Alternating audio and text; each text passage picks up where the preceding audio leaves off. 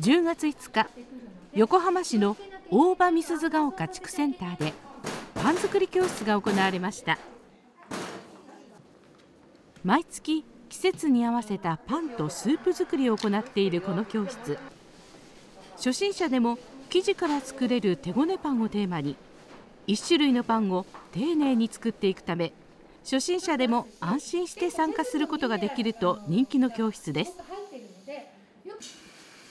この日は今が旬のくるみとかぼちゃを使ってくるみベリーパンとパンプキンスープを作ります。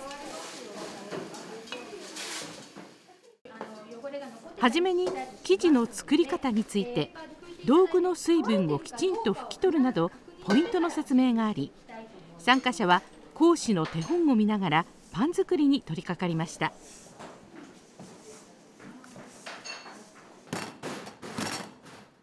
リズミカルに生地をこねていきます。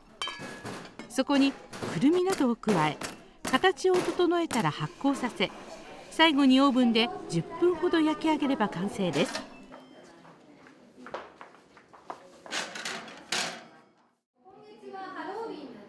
そして参加者は自分の作ったパンとスープをじっくり味わいました。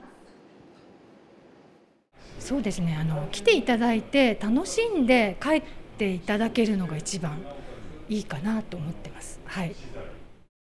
7回か8回ほど。お結構。はい。楽しみにしてます。この教室の魅力ってどういうところにあります？